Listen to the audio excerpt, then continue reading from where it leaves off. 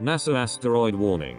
Giant 118 feet space rock headed on Earth approach tonight. A giant asteroid four times longer than a London double-decker bus will zip past the planet late tonight. NASA's scientists have revealed. The asteroid, dubbed by NASA Asteroid 2018 YQ2, is expected to approach our home planet just after midnight. NASA's asteroid experts at the California-based Jet Propulsion Laboratory, JPL predict YQ2 will flyby at 12.07 am GMT, UTC, on Tuesday, the 8th of January. During this flyby, the imposing asteroid will reach its closest possible distance to the planet, a so-called Earth close approach. The asteroid is not expected to hit the Earth anytime soon but tonight's flyby will be the first of two incredibly close encounters this year. NASA expects asteroid YQ2 to visit the Earth again in 8 months on the evening of the 26th of August, 2019.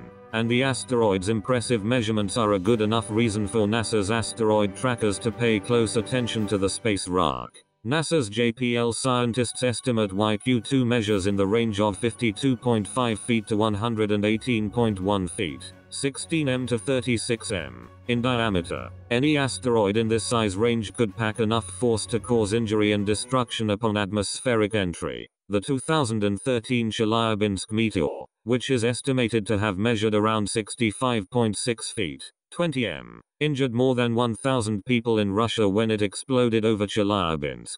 At the upper end of YQ2's estimate, the space rock is about more than twice as tall as the Hollywood sign in Los Angeles, is six times as tall as an average giraffe and is nine times longer than a Volkswagen Beetle. Thankfully, even at its closest, asteroid YQ2 will miss the Earth completely by nearly 2 million miles. NASA believes the space rock will reach 0.01919 astronomical units, or, from the Earth enough to dub it a near-Earth object, NEO, but not close enough to sound the alarm bells.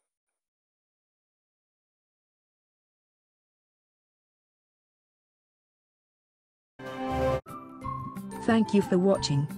Please subscribe to us on YouTube. If you like donate to us visit home on the page PayPal.